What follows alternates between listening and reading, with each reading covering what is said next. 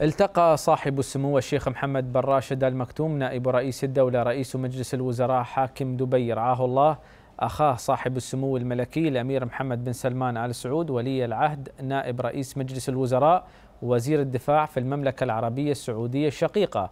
الذي يزور البلاد حاليا.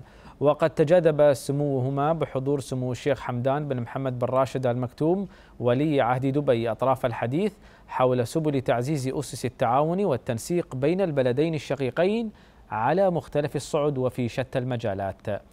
كما استعرض صاحب السمو الشيخ محمد بن راشد المكتوم وصاحب السمو الملكي الأمير محمد بن سلمان عددا من الموضوعات والقضايا الإقليمية ومسيرة التنمية والتحديث التي أمر بها خادم الحرمين الشريفين الملك سلمان بن عبد العزيز آل سعود في المملكة الشقيقة.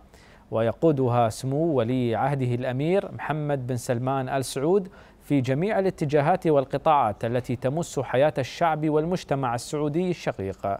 وتنعكس ايجابيا على رؤية المملكة العربية السعودية 2030 وتعود بالخير والرخاء والتقدم على شعبها الشقيق.